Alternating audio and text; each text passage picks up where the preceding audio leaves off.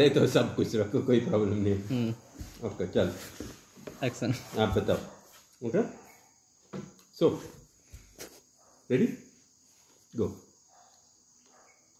so experimenting with raw food at the beginning it's quite difficult but within few days as you continue to eat raw food with the condition that as you are eating you are enjoying eating your raw food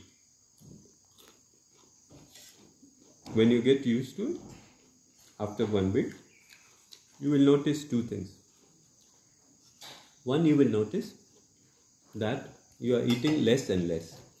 You are not feeling hungry and you are enjoying your food. Second thing, you will notice that you will be very, very alert. And slowly, slowly, you make this your lifestyle and you are free from cooking, free from needing anything, and easy. Just take your carrot, tomato, cabbage, cucumber, and just enjoy okay